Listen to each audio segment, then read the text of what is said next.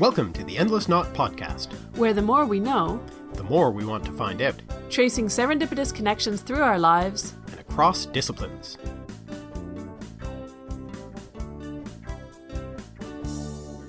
Hi, I'm Aven, And I'm Mark. And today we are at the Sound Education Podcasting Conference, and we have a very special guest who may we're sort of a guest on his show too. But anyway, let's call it let's call it you're our guest, uh, Scott Aaron Lepisto from the Itinera podcast. Hi. Thank you so much for having me on. I'm really glad that we could finally meet after so many years of knowing each other virtually. I know it's been a lot of that this this last few days. True. So uh, everyone can um, take for granted that our audio won't be necessarily exactly the same as it usually is because we are sitting in a room at Boston University. Oh no, what is what is the building we're in? I, keep think- losing I think we're in. Aren't we in Boston University? What's WBUR? Is that the? It's called Keelop. yes, exactly. I say I just keep going places in this city and have no idea. It's either Boston University or Boston University adjacent, so that's, I think, good enough. Yes. Yes. So we're uh, just finishing up a three or four day long. I mean, uh, for Starts us, it's about three days. Yeah, it started on Wednesday. Today, Saturday. Yes. However Four many days. um, conference, and we thought we would talk a little bit about the conference, report on it, um, about what's been happening, and also talk to Scott a little bit because he's always interviewing other people for his podcast. Ooh. So we want to put him on the In the spot a hot little bit. And yeah, did we, did we not tell you that? This is an ambush. Oh, this No. is a, uh, one of those gotcha interviews that I'm always doing with my guests. Oh yeah. I, in fact, remember you explicitly saying to people, "This isn't a gotcha interview." It's true. I have never done a gotcha No. interview. I can't imagine not, doing Not it. quite on brand for Itinera. No, and I, it, it just sounds stressful. I wouldn't want to do it anyway. I'd have to hone my journalistic chops, I think, to to really grill someone. Yeah. How, how so? How how has your conference been so far? Anyways, So it's been fantastic. I mean, we got to meet. I have met all kinds of great people. And the thing that I've really enjoyed about the conference is that it really represents the whole educational podcasting ecosystem. Mm-hmm. So I've met mm-hmm. people in media, in journalists, independent podcasters, academic podcasters, and just meeting um, all these people who are passionate about what they're doing and who are okay doing a, a, a niche thing. And I think in podcasting, you know, everyone is really curious, everyone loves to learn, everyone is really enthusiastic. And at least in my experience, no one has an ego, right? We're all podcasters, right? We're all okay having our niche, cool kind of interests. And so, um, yeah, it's just a great, great atmosphere, I guess. Yeah, no, I, I agree, especially with that last point. I mean, I'm sure there are some out there. The good thing is, if they have enough of an ego to think they're special, they're not here. Right, Yeah. right. yeah, or the, you know, even if they are at the conference, they you know maybe just came in, did their one thing, and then left or something. Mm-hmm. But Yeah. they're not they're not sort of you know hanging around with that attitude. Yeah, I have not crossed paths with, With any of these hypothetical Yeah. egoists. Yeah. So Exactly. I'm not Yeah. trying to, like, that was not a subtweet. That was not me saying there's somebody out there. Just that They- They're either invisible or they don't they, exist. they don't exist. yeah. So And certainly, some of the people who've been here are, uh, at least within our area of the world, um, quite big names, um, and are do not act that way at all. Yeah. which is really nice. Mike Yeah. Duncan met the OG uh, Yeah. last night. Yeah, Um, and yeah, couldn't be a nicer guy. Yeah. And no, no ego, no, No. pretension. in fact, quite clearly, slightly terrified by the sort of pedestal people are putting him on. Yeah, yeah. he keeps going like, I don't think I can handle this, but that's okay. And we were just at the um, talk between him and Robin Pierson, um, where they talked about the transition between Rome and Rome, or Rome and Byzantium. You know how are they still Rome and how are they not. And Robin Pierson is also, um, I mean, he was inspired by Mike Duncan and took up the reins after him. So he comes, he is the um, the follower in that sense. But he's also a very it's a big very big podcast now too, and very important. And people, and the two of them were just not. You know, they were just hanging out afterwards and like really interested to talk about their subject. That's all that they care about. yeah. Yeah, no, I th- that's what been my certainly my experience too. That I mean, um, both this year and you know we were at the conference last year, and we we met you know a whole bunch of podcasters with like huge followings, and they were just you know in there with everyone else, um, you know, chatting and It's the opposite of a zero sum atmosphere, Yes. right? It's the It's- opposite. It's absolutely a rising tide lifts all boats thing. yeah. Everybody here is really interested in getting people to want to listen to podcasts. Period. And like it's not about I want that of course everybody wants people to listen to their podcast, yes, but like basically we all just it's because it's sort of a fledgling industry. There's this fe- very much this feeling like it will help all of us if more people out there know that they exist, think they're a real thing, care about them, all of the have better searchability, whatever the particular details are. Even if the individual person you're speaking to never listens to your podcast, if they go out there and listen to podcasts, it's better for all of us, and all everybody is definitely thinking like that. Well, and it's also a question of getting people used to listening to podcasts, since it is a very new medium. Um, if if if people are sort of whatever podcast they listen to, they build that into their lives, then suddenly that opens the door for everyone. it's shocking to me. So I've been a consistent podcast listener since 2000, 2009. Mm, mhm, um, mhm. and so it's I've been I guess I think that that's one you know we can we can get in get in deeper into the conference. So this is something that I've been kind of thinking through because everyone kind of has this feeling like something big is going to happen, Yeah. right? And you do the podcast and the podcast is going to open up these doors, but we don't know how to monetize it, but we can it's maybe not necessary for us to monetize it. Maybe it can be this value added thing that mm-hmm. doesn't necessarily lead directly to a, an outcome, but kind of in a circuitous way. Mm-hmm. And it's it's just you know I've been listening now for a decade, and so I'm like, given that the bubble hasn't burst yet, like, is it going to burst? Like, Mhm. I guess I guess it will, and we'll all benefit in various ways. And I certainly benefit in terms of connecting with you 2 Mm-hmm. in terms of connecting with my guests, in terms of having an impact on my audience. But it's kind of yeah. Did you feel? I mean, here I am turning the tables in classic interview mode. Um, but did you? What's your take on the the optimism? Because there's a Mm. real spirit of optimism Mm-hmm. here, and maybe I'm just maybe I'm just kind of A deeply cynical pessimist? No, wait. I don't know. I don't know what you're filling it in with.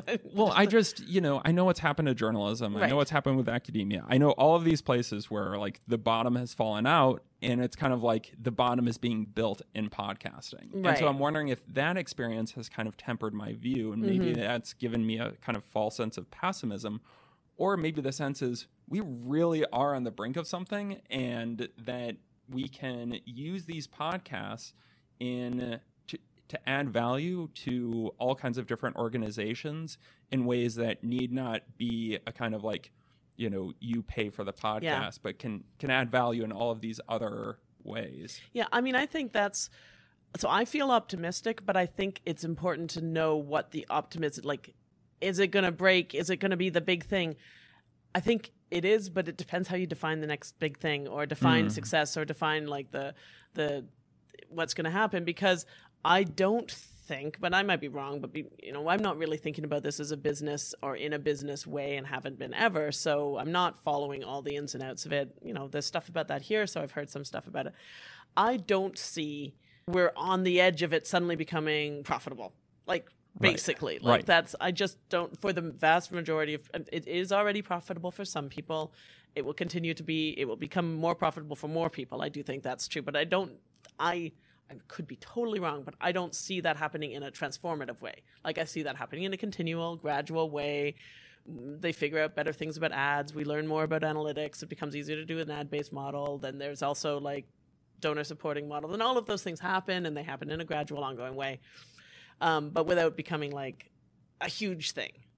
What I do have a lot, but I, but I'm not worrying about that as the, you know, I have a lot of privilege in that I don't have to make my live, living off of it. Um, I think that I have a lot of optimism for it becoming a truly established thing. I, I have optimism that po- podcasting is going to become a thing. Yeah, Basically, yeah. is really what I'm trying to say. and it, and it's been a thing in, And it in has our been a big thing, for yeah. a long time. and I think that I do think that that number is growing. Like the people who feel that way about it are is growing. That the ability for it to become so there's like certain levels of user unfriendliness to it as a genre that still exist, like searchability for finding a new podcast, very bad.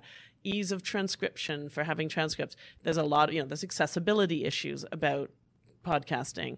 There's problems with archiving. and Like I think, but I think those things are really being worked on. And so I, and then I think once those things get figured out a little bit more, I yes, I I am quite optimistic that it will continue to go. And I don't know whether meteorically or slowly, and I don't personally really care um, to go on to be something that is, you know, really genuinely useful and pleasurable to a bunch of people. And if I think of that as like the end goal, I'm really optimistic about that. I don't think it's going to vanish. I don't think it's going to become played out or oversaturated or whatever. So that's where my optimism is. And I think if that is what the optimism, and I think there are people here who definitely want it to be, need it or want it to become monetarily useful. And I don't know where we're at on that. But on the other kinds of optimism, I think that they're, my feeling is they're warranted. Yeah. Well, I'm I'm I'm thinking about this in terms of, you know, Itinera is one thing. Itinera I'm doing, you know, and the audience really is undergraduates who have taken at least a classics course or two. Like I think that you do need to have a little bit of some sort of connection to the classical world and above, mm-hmm. right? So it's kind of like there is this threshold in terms of thinking about my audience growth. Mm-hmm. So I'm not necessarily envisioning all the different ways that I could turn Itinera into some sort of profitable venture. I mean, Itinera is really about me, it's about the community, um, a labor of love in many respects. Um, you know, and and I do like having an impact on an audience that appreciates what I do. I'm also thinking about this though in terms of in terms of what uh, Bharat Anand said at the um, one of the several keynote addresses. yeah. There were many, an unusual number of keynote addresses. Um, We were highly keyed up. yes, we were very A lot of locks. I don't know. um, so one thing that he said is that every company now thinks of itself as a media company. And then also talking to the university podcasters who said that, you know, a university podcast can't sound like an ad, you know. And so thinking about I'm sort of thinking about this not only from my like the you know, my personal situation, but I'm thinking about it from the perspective of universities, the per- perspective of companies, kind of thinking about it in this sort of global way and thinking about kind of I don't know. Yeah, so that's kind of where where where I'm thinking about it. I mean, you know, um, yes, support. I, I'll set up a Patreon page at some point. Donate to donate to the show through PayPal. Do all those things. I love it. Thank you. But um, yeah, but in terms of Itinera, I'm always yeah. It's really for classicists and even entry level Mm-hmm. Yeah, classicists. and so there's Yeah. so there's a ceiling to that audience exactly anyway, and, and you're I not, know it. Yeah, and and- it's kind of Oh, it's and- built in. And I mean, in many ways, I think that's true for us, even if it's not the same for the same reasons exactly. And I would say that the, the interesting comparison to make is between the world of podcasting and the world of YouTube, which had a very meteoric, you know, rise, uh, and it's tied to one very specific platform. So I'm not saying that there isn't optimism in the YouTube community, but it's very tempered with the pessimism. Mm. Um, so there are people who think, yeah, you know, I, I just have to wait for my channel to catch and I'll make it big or whatever. Um, but there is very much an awareness that, uh, you know, it's frustrating and, uh, you know, you could be put, producing the best quality stuff, but if the algorithm doesn't like you, you know, you, you'll just never go anywhere.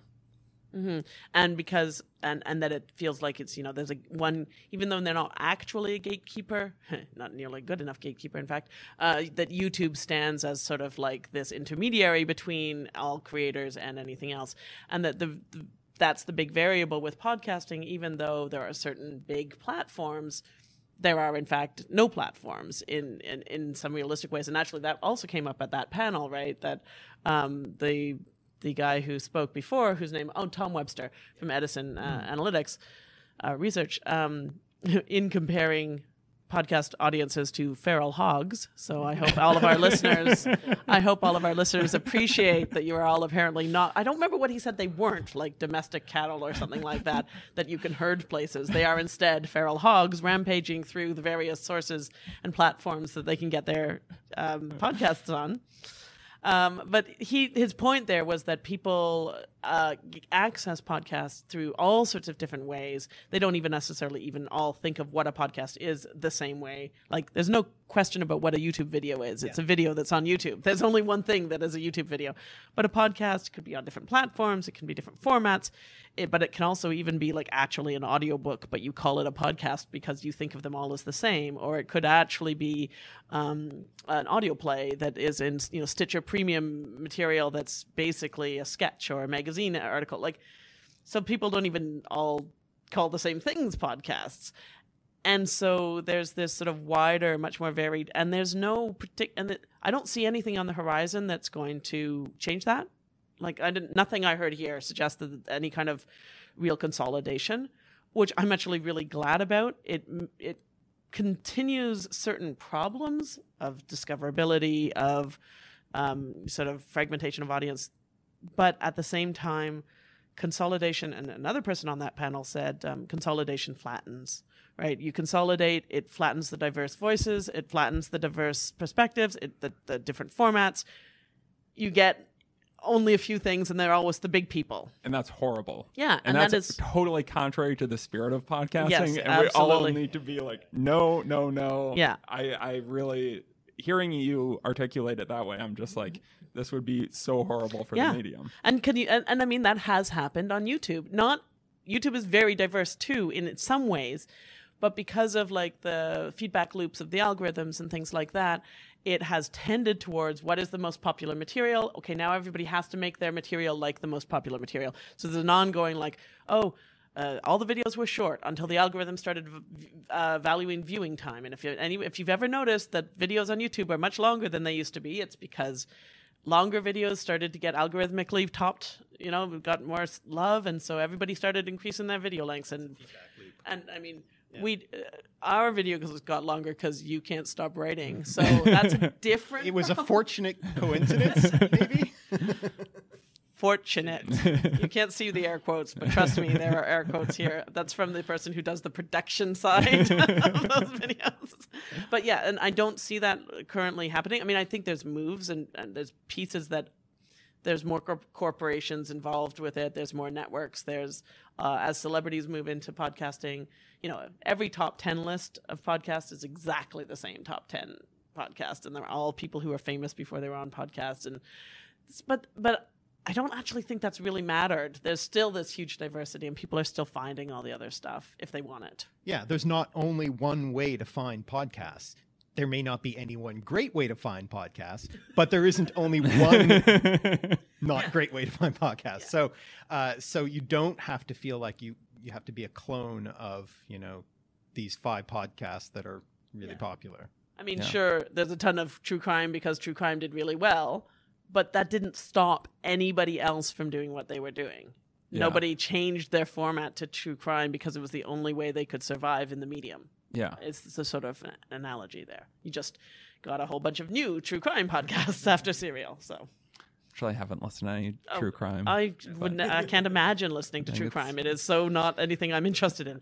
But that's fine. yeah. More, I more total- power to you. Again, Yeah. same thing. Like Yeah. it's not just within the educational community. Like in general, not all podcasts are good podcasts. There are podcasts out there that are bad for the world. But most podcasts are like uh, just just a good thing. Do whatever you want to do. Enjoy your life. What listen to whatever podcast you want. And if you happen to expand into some of the ones that we do, great. If you don't, fine. Of course, if you don't, you're not listening to this. So.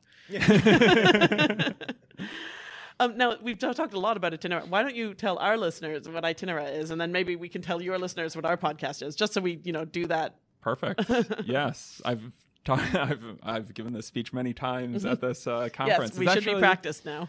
It's actually been uh, interesting just getting reactions to the idea of of the podcast from people who are totally outside of classics. Um, so, uh, Itinera is a podcast in which I interview classicists about the relationship between their lives and their work.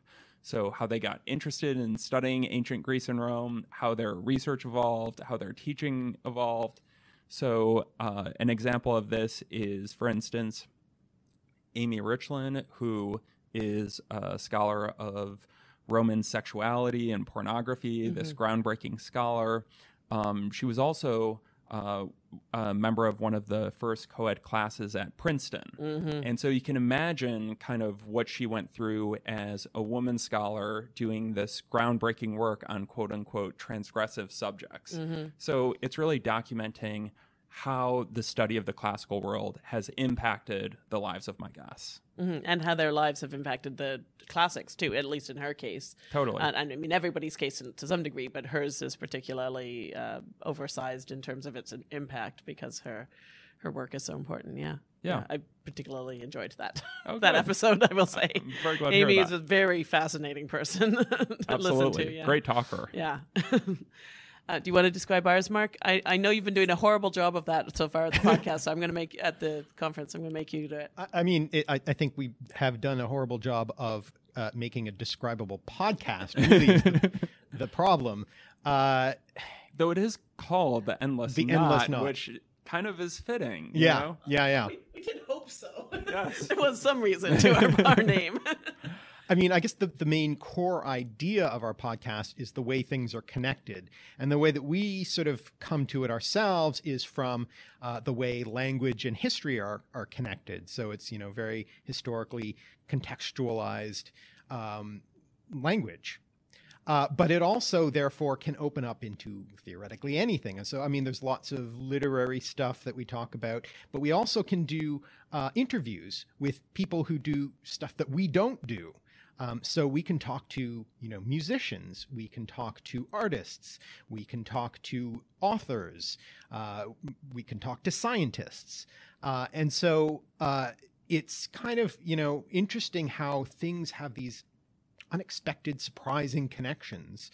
Um, and that, you know, that's what, what we like to explore. In a way, we s- sort of started it with the, the mindset of let's kind of try and recreate our uh, over dinner conversations, which sort of meander and we, you know, touch on all kinds of different things that suddenly we found that day or, you know, was interesting.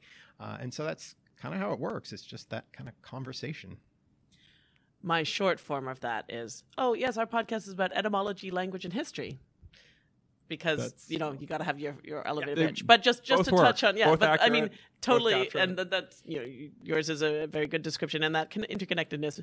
I mean, in many ways, it's shorthand excuse for anything we like and is interesting, and things we do know, and then things we don't know. And you know, obviously, we've talked to a lot of scholars in our own fields as well, especially when they write interesting books, but um, and we need to get back. I think to we. I think more recently we've done less of the like random people with random interesting connections, because we've just had a lot of other people we wanted to talk to. But um, I, I think that's a something we'll certainly keep coming back to.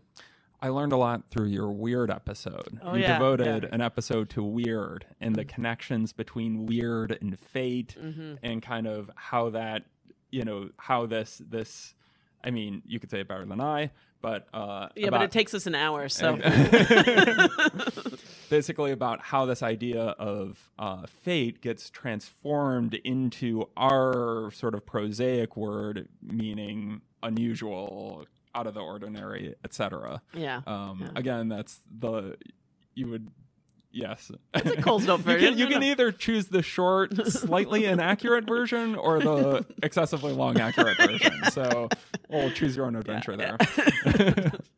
Yeah no that's i mean that's exactly the sorts of um, things that we find interesting. And and we the videos uh, that we make are also part of the podcast in the sense that we go back to older videos and like play the audio from them and then talk about more stuff and, and expand that because well you know you already got the content. You might as well use it again.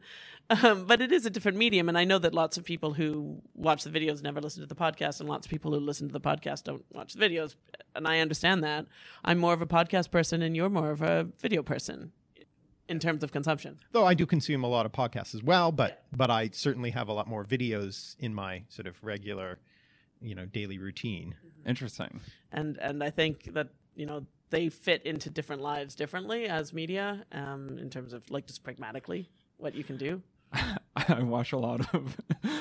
I mean, my podcast consumption is is pretty varied. Um, in terms of my video consumption, I stick with a lot of food related YouTube videos. How, like recipe, how tos, Um, well, restaurants. like, like I like Good Mythical Morning, in which they yeah. eat like several different varieties of frozen pizza and rank which one is best. Yeah. So you can tell these are the videos I watch at the end of the Yeah. day when I'm kind of like turning off my brain, yeah, getting ready. and to there is a settle very in. good place in any life for that sort of thing. Absolutely.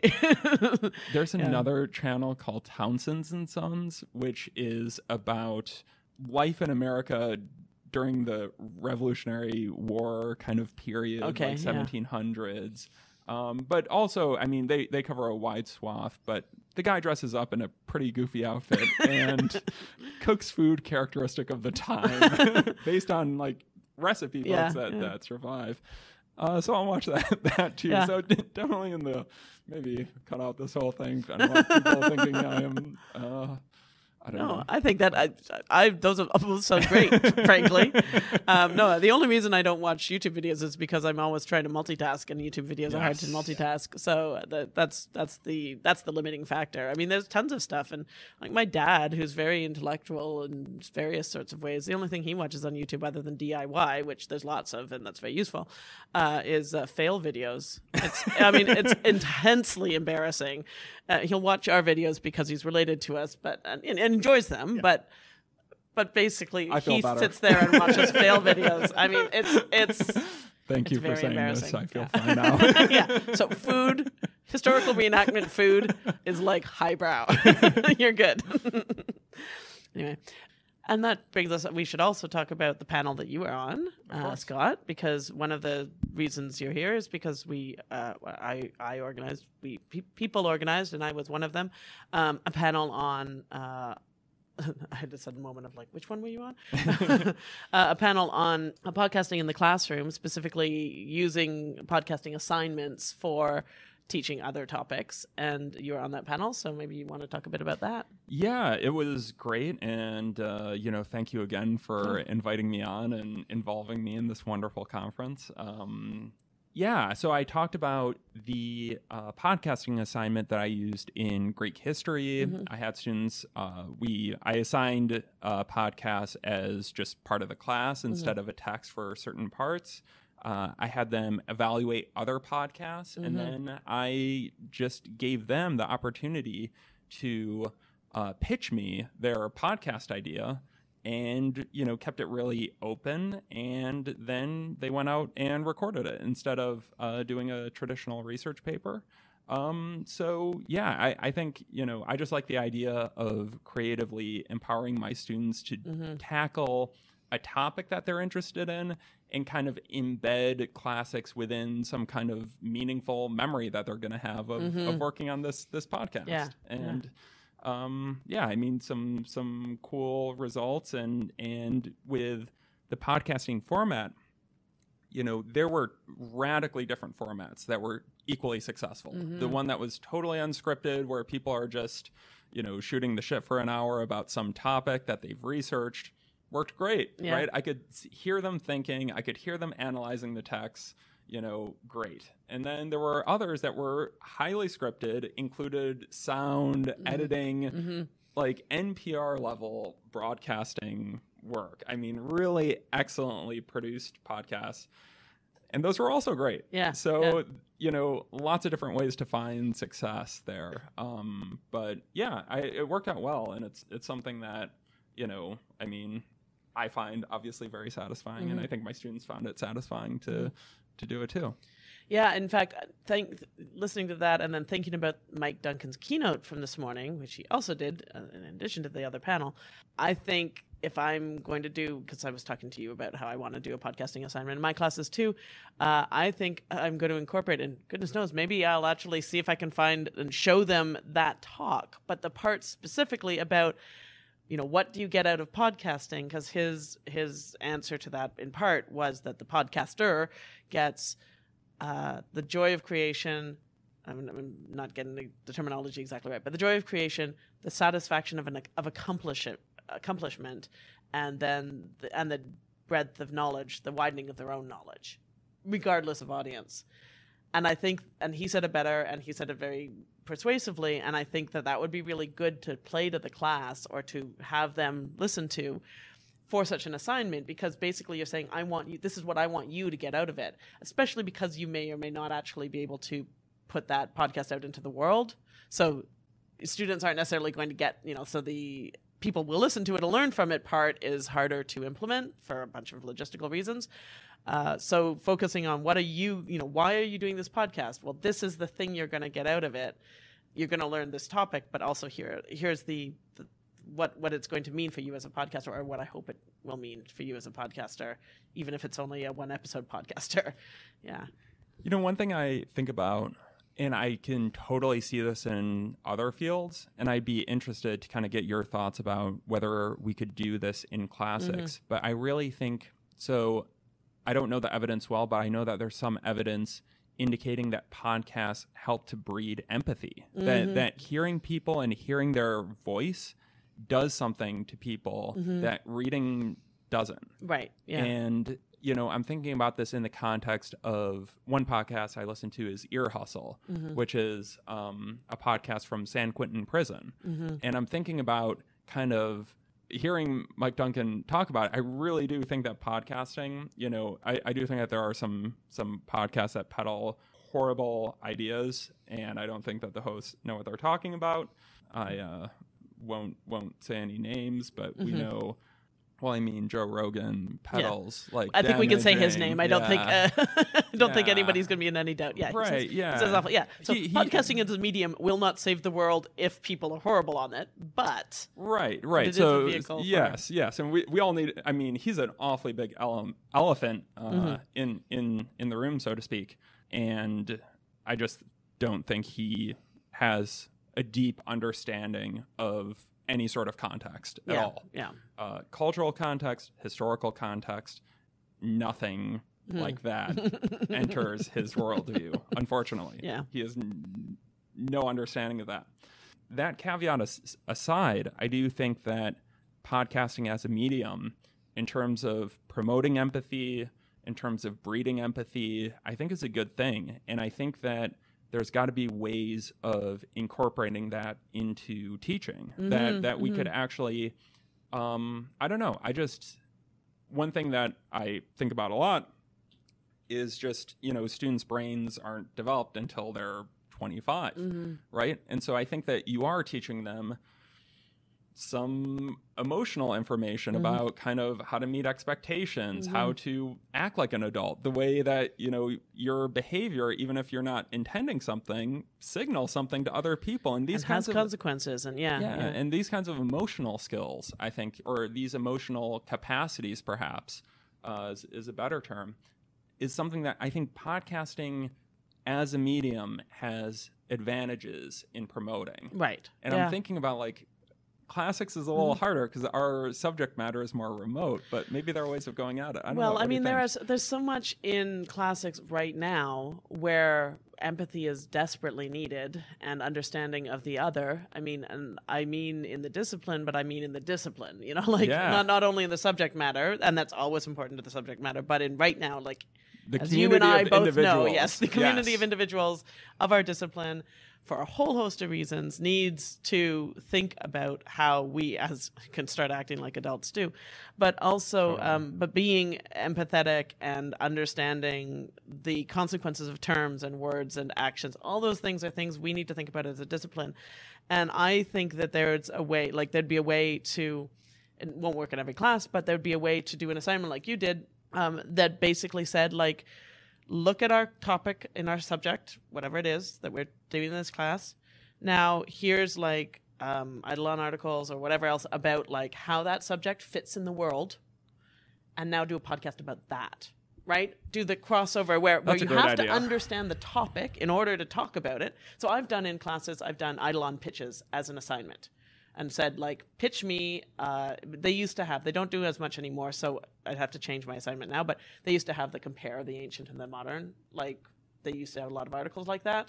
Um, you know this is the modern version of the ancient whatever. So i had my students pitch me articles on that model um, and so they had to they didn't write the articles for me they just did the pitch. Uh, and i think you could do a similar thing with podcasts where you say like you know read a couple of these articles or read these things or, or or like you'd have to be careful with this but like show them some examples of some of the bad stuff that's out there carefully and with thought because otherwise it, it could backfire spectacularly and say like all right you have to understand heroism in the Achille, in, and achilles well enough to talk about how that impacts toxic masculinity. And i want you to talk i want a, a podcast um, you know i mean obviously give them latitude to come up with the topics but that would be a, a suggest like a kind of thing you could do. Give me that.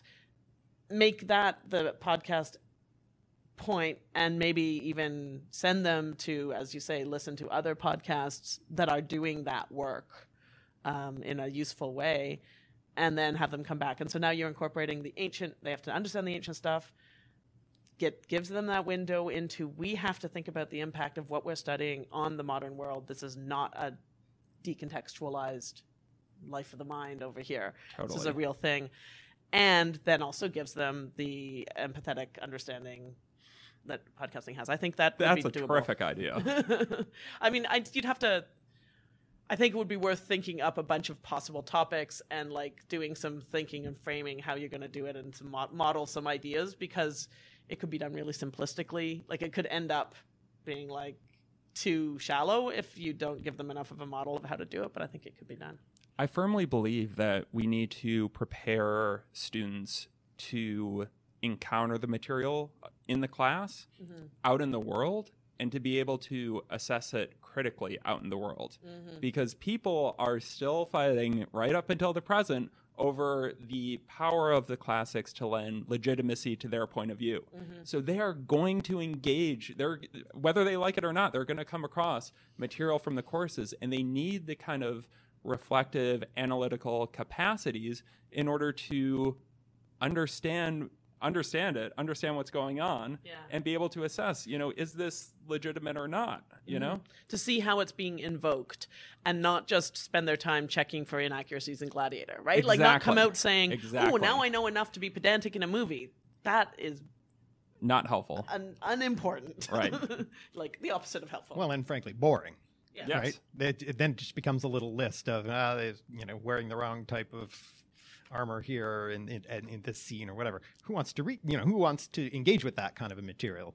and you just go back to the ancient versions and you see that Greeks and Romans tolerated discrepancies between different versions. They were totally cool with it. Yeah, so who's to say that uh, this this discrepancy is is some awful, awful, immoral thing? You know, I don't know that it is. Maybe it, maybe the virtue is that it can be used in this flexible way.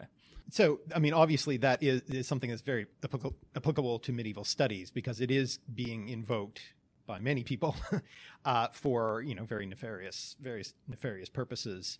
Um, and and the thing is, it's not just, and this is the the kind of current sort of discussion pain point that's going on at the moment. It's not just a question of like the alt right invoking these symbols or ideas or um, imagery from the Middle Ages and putting them to you know white supremacist purposes. There is also a growing awareness that in fact the very field itself grew out itself out of white supremacy white supremacism uh, that the you know the founders of this field were already thinking along those lines the Eu- European superiority uh, and uh, there is now you know kind of a backlash against not just the current use by the alt right but in in terms of the history of the field is now being questioned and uh, people are being kind of very critical of that and I and I think that's a really important discussion that needs to happen. And you can't send students into you know you can't send students out into the world unaware that this is happening. And you also can't send students into your discipline if that is what you're doing. If you're training students who are going to go into your discipline uh, it's irresponsible to send them in uh, unprepared and it's irresponsible to send them in unknowingly or unthinkingly perpetuating it right? Either of those is not we can't do that. You can't teach a medieval a course on medieval material anymore without addressing this right because you're either anti or for. Like Yeah. there's no in between. Like either the way you teach it is going to support this these problems, or it is going to counter these problems. If you don't do anything, you like the default, the I'm not going to politicize it role simply supports the status quo, and the status quo is a problem. Yeah. I mean, I think that this is I mean, this is our contribution as humanists, right? Is is preparing our students to think critically in these in these ways, you know, about the material I, that that we teach, about kind of who's using this material for Mhm. what benefit, for what ends, to legitimize what point of view, what ideology. And this is also why I think it is crucial for classics to be public facing. Oh, because yeah. if we give up on this, there are a whole host of people who want to use classics, I would guess medieval studies as well, Yeah, absolutely. for ideological ends that we don't support. And by the way, these are the people who are the least interested in the subject matter, who know the least about it, who want the prestige of Mm-hmm. referencing it without the inconvenience of actually studying it stu- properly. grappling with any details of the of the subject. Yeah. Except when it's not. Except when it's the specialists who are also doing that. That is, I mean, th- there Which is are- awful and I hate that we have to say that, That but like too, it's true, true, too. I mean, we can't it is important to say that it's not you everything you said is correct. Like there's a whole ton of people out there who are doing exactly that. But there's also a separate piece which is obviously not unrelated of people who should freaking well know better. Uh, but uh, who are very well uh, educated in certain ways about the subject and who are not only willing to let it slide but are actively perpetuating these problems and who want t- who want the things the same things frankly and That's that there true. absolutely are scholars uh, in certainly I know of in medieval studies who are racist and are actively uh, spreading this message. These are scholars, senior scholars in the field. So it's not just you know kind of a fringe or something like that. It's like right at the core of the thing.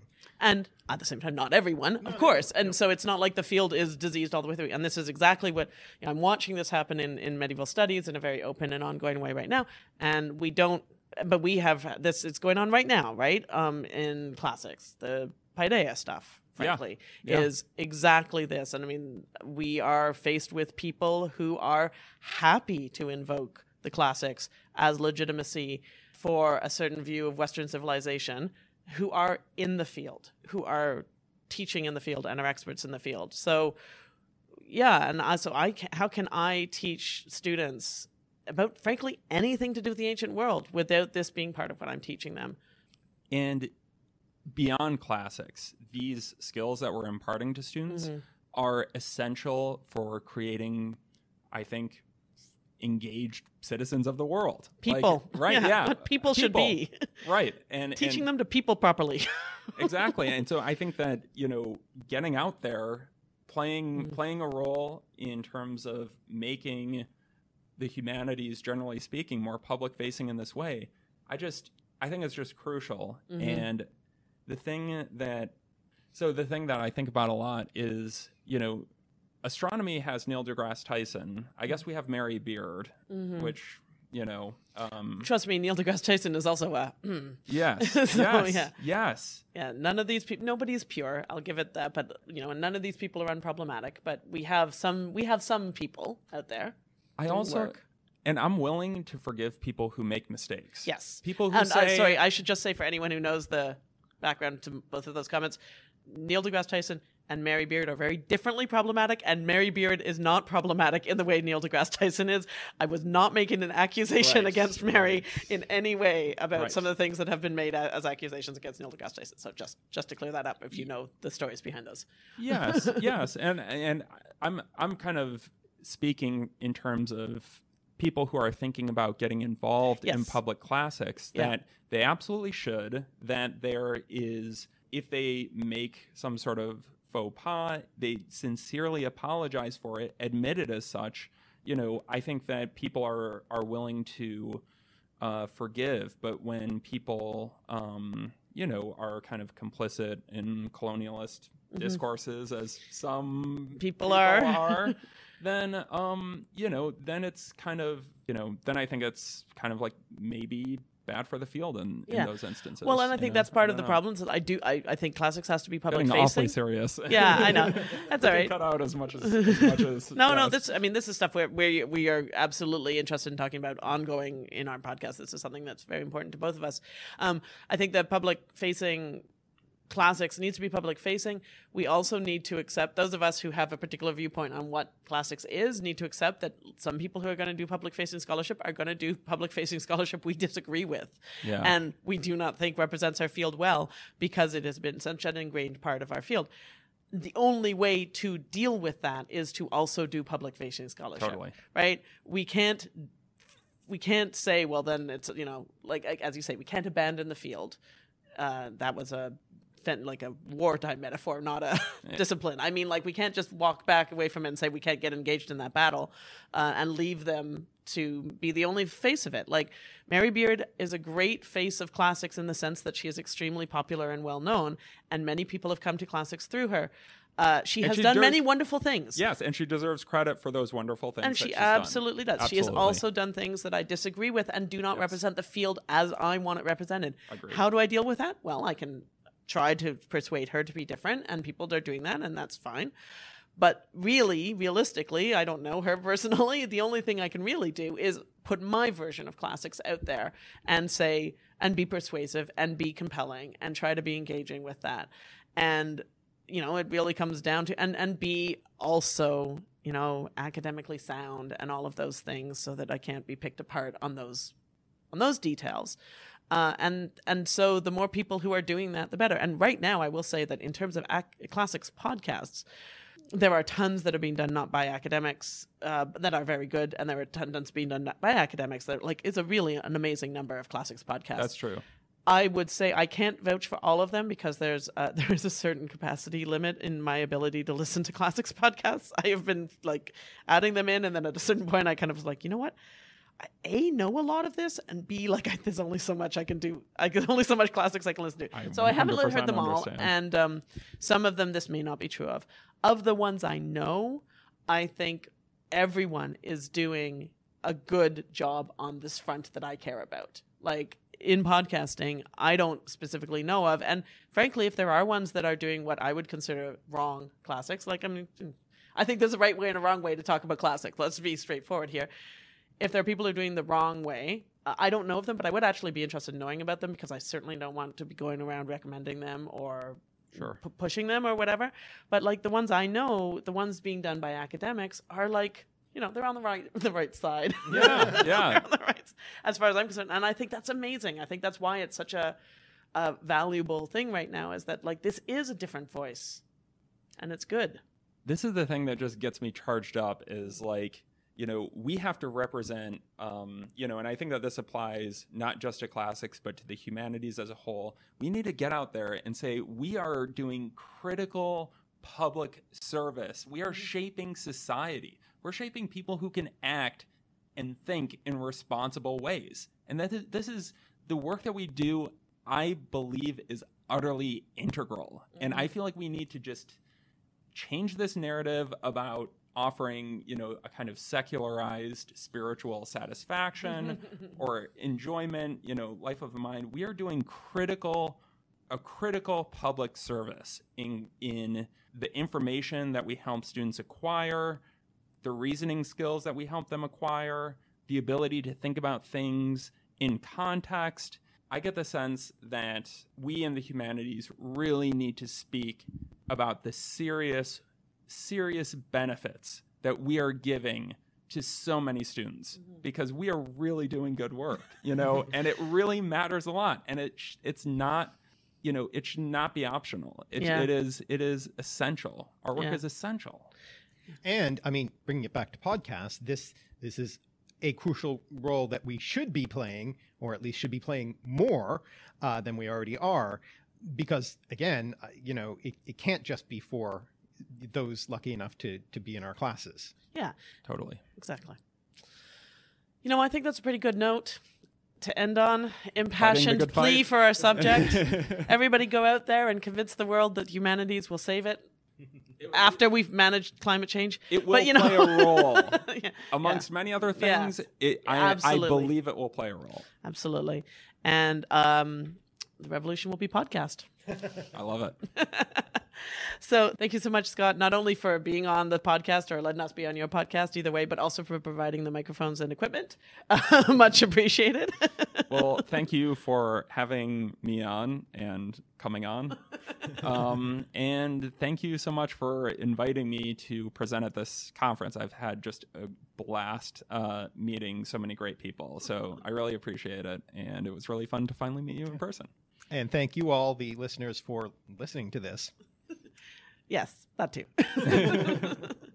All right, we'll be back at you next time. Bye. For more information on this podcast, check out our website, www.alliterative.net, where you can find links to the videos, blog posts, sources, and credits, and all our contact info. And please check out our Patreon, where you can pledge to support this show and our video project. You can go directly to the videos at youtube.com slash alliterative. Our email is on the website, but the easiest way to get in touch with us is Twitter.